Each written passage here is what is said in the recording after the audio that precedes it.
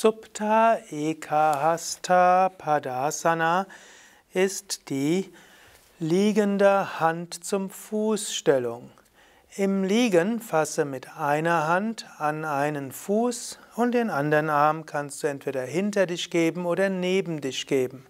Es gibt zwei Variationen. Du kannst zum einen das Knie neben dich auf den Boden drücken. Das ist dann eine gute Übung für die Flexibilität der Hüfte.